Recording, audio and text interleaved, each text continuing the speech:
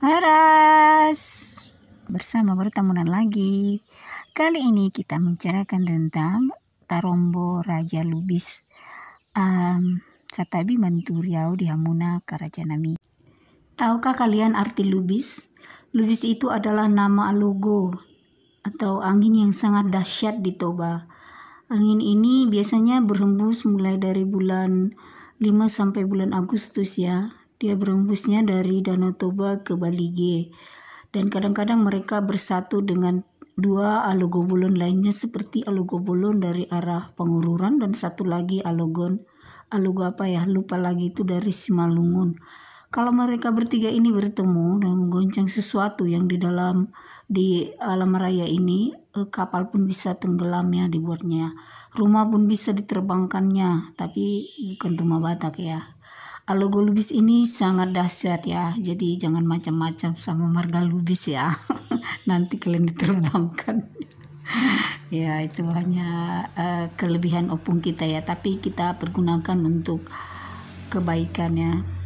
Tapi uh, Tarombo Raja Lubis ini kita mulai dari opung si Raja Batak. Opung si Raja Batak menurunkan uh, datu atau tatia bulan dan uh, kedua yaitu toga uh, Raja Isumbawan kemudian toga laut. Nah opung toga laut atau opung tete bulan menurunkan raja, satu Raja Sikumelenggeleng atau Raja Torusan atau Raja Uti. Kemudian nomor dua itu opung Saribu Raja ketiga adalah Nimong Mulana keempat adalah Sagala Raja, yang kelima adalah Silau Raja, dan lima burunya, dan semua anaknya ini kembar silinduat ya. Kemudian Opung Sari Raja menurunkan Opung Raja Borbor, uh, yang kedua Raja Letung, yang ketiga Raja Galeman, yang keempat Bayo Angin. Nah, Opung Raja Borbor ini menurunkan Raja Haturusan II. Kemudian Opung Raja Haturusan II menurunkan satu Siboru Taot, yang kedua Tuan Raja Doli atau Datu Tala di Babana, yang ketiga Datu Rimbang, yang keempat Opung Datu Altong, yang kelima Opung Sahang Matanyari, yang keenam Opung Sindar Matahani Bulan, dan opung Sahang Matanyari inilah yang menurunkan opung Raja Margolang dan opung sinar matahari ini menurunkan simaring bulbosi. Nah, opung tuan Raja Doli ini atau Datu Tala di bawah ini lah yang menurunkan satu Saribu Raja dua, yang kedua si Pahutar, yang ketiga si Raja Tiron, hati orangnya itu opung si Raja Tioran inilah menurunkan marga harap. Yang keempat si Raja Tanjung, yang kelima Raja Rambe, yang keenam si Boru Anting Malela, yang ketujuh si Boru Dondong Saroding, yang kedelapan si Boru Panti Sabungan, yang kesembilan Pari para Haji. Ya. Opung para, para Haji inilah yang menurunkan marga Tinedung dan Sitangkar. Nah, Opung Saribu Raja dua ini menurunkan Datu Popang Balasaribu.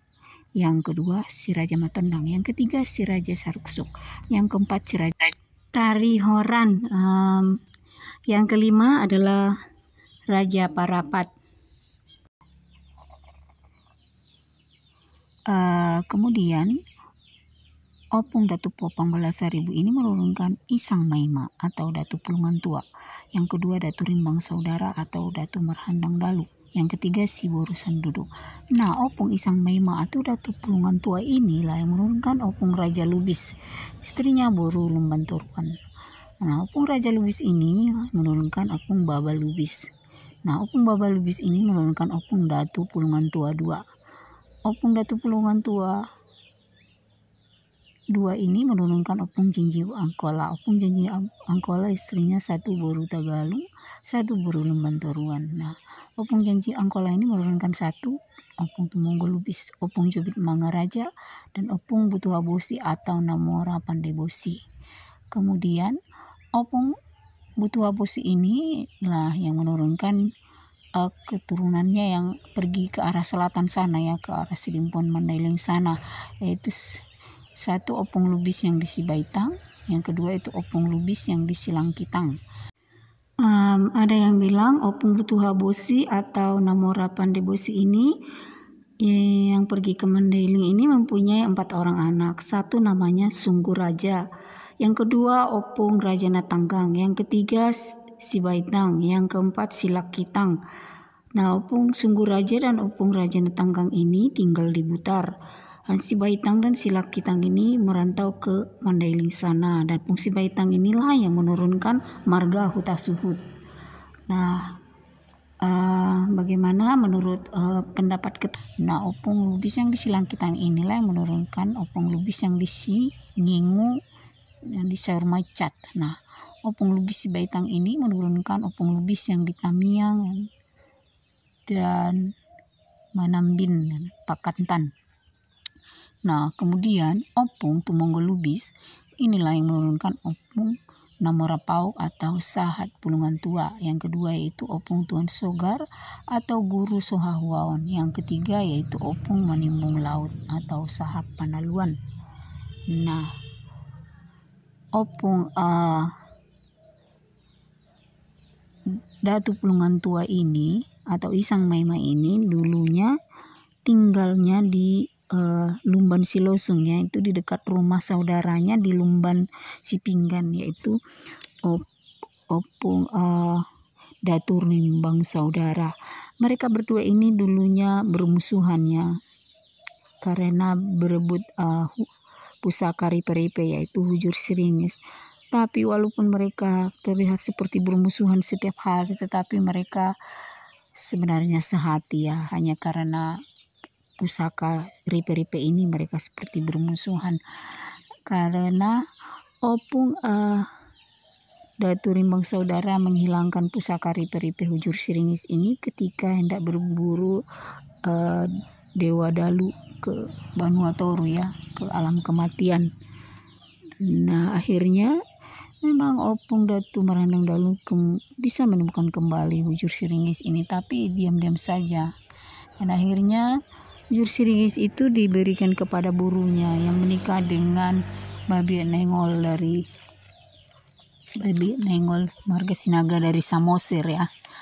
Nah, selama permusuhan mereka ini Opung Datu Pulungan Tua atau Isang Maima ini dengan Opung Datu Rimbang Saudara karena mereka saling mengirim aji-ajinya ya.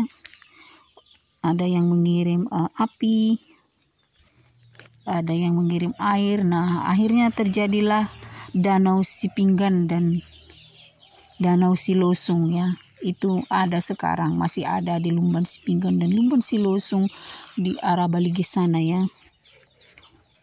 Uh, tempat itu uh, sering dikunjungi oleh keturunannya ke sana ya, masih ada sampai hari ini di sana danaunya. Nah, Opung Raja Lubis uh, membuka huta di Parsoburan. Kemudian keturunannya uh, membuka huta di Lumban Soburan uh, si borong-borong. Ada juga yang uh, membuka huta Butar, ada juga yang membuka huta Lumban Rau. Kemudian ada juga yang uh, ke kalau opung tumbonggo lubis tinggal di Samosir jelasnya di hutan mana ya? Nah kalau ada teman yang tahu tolong dituliskan di kolom komentar. Kemudian opung uh, keturunannya juga ada yang ke Lumban Gurning. Tugu Opung Isang Maima atau Datu Pulungan Tua dan Raja Lubis ada di Lumban Gurning Porsea, berada di sisi adiknya Datu Rimbang Saudara atau Datu Marhandang Dalu. Itulah uh, tanda kedekatan tondi mereka ya. Badan mereka memang berselisih karena hujur ripe-ripe, hujur siringis, tapi hati mereka tetap saling menyayangi sebagai seorang adik dan abangnya. Tapi kemudian keturunan Opung Lubis ini pergi ke Haunatas menjumpai saudaranya di sana. Dan satu bius di sana di Haunatas ya. Nah, dari sinilah mereka yang dari Haunatas ini, dari Ebius Haunatas ini, di situlah pertama ada hutannya Opung Lubis ya, Pung Raja Lubis. Nah, dari sini kemudian mereka membuka hutan lagi ke arah uh, Sipul Taksana yaitu di Pearihit. Di situ juga ada hutannya Opung Raja Lubis.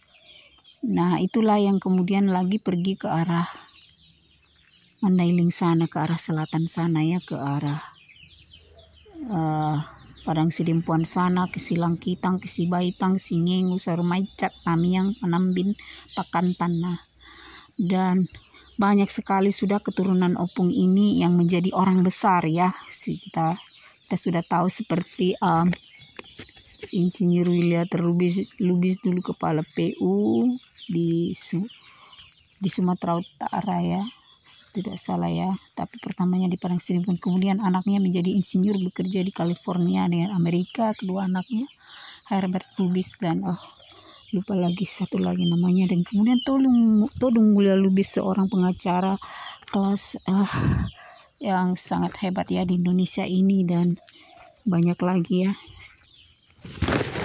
Ada yang tahu uh, tentang uh, keturunan Opung Raja Lubis ini? Mohon dituliskan di kolom komentar supaya kita semakin tahu uh, tuahnya Opung Raja Lubis itu sudah semakin turun kepada keturunannya.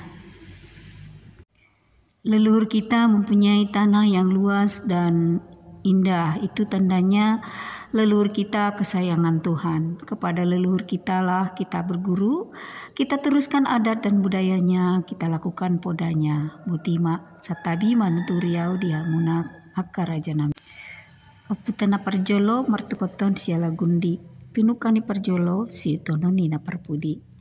Opung kita rajin menanam bibit pohon, jadi kita pun tanam bibit pohon. Kalau kita makan buah, bijinya kita campakkan di tanah agar tumbuh. Agar kita kaya, sehat, dan aman dari bencana alam. Um, terutama bulu, bulu.